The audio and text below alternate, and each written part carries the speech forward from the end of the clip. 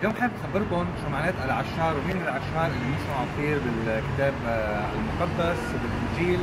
مشهورين العشارين أيام اليهود. العشار كلمته سميته جاي من العشر. هو اللي كان يعشر للناس يعني ياخذوا منهم العشر حتى يضيفوه لصندوق آه، الضرائب من الناس. وهول العشرين كانوا متهمين من الشعب اليهودي إنهم عملاء للاحتلال الروماني.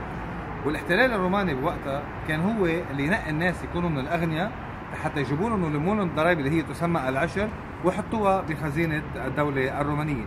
إنما شو كانوا يعملوا العشارين كان لأنه كانوا أغنياء كانوا قد ما زادوا ضرائب على الناس قد ما حتى يكسبوا هن ويزيدوا مصاري آه، لهم قد ما زادوا الضرائب قد ما زادوا مكسبهم.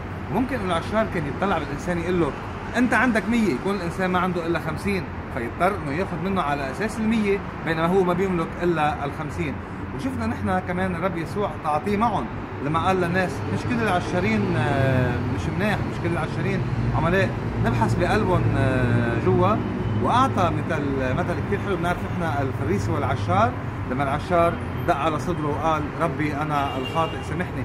كان عارف حاله عم ياخذ آه، من اخوته وكلنا بنعرف إن إحنا وصغار قصه زكى العشار. المشهورة كثير واللي الرب فات على بيته وتعشى وتاب آه، زكى ويعتبر زكى كان مسؤول العشارين بكل منطقه في عشارين وما بننسى ابدا إنه من تلاميذ يسوع كمان كان في عشار كان في واحد عشار اللي هو متى واللي صار من تلاميذه واللي صالحه كمان هو وبطرس اللي كان ما يحبه لأنه ياخذ منه ضرائب.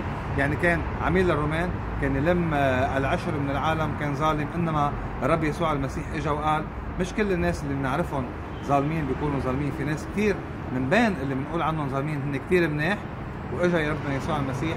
وعطى فكرة جديدة عن العشار خليهم يتوبوا زكى ومتى وآخرين تبعوه وصاروا من تلاميذه رب يسوع معكم وينعاد عليكم وكل سنه وأنتم بخير.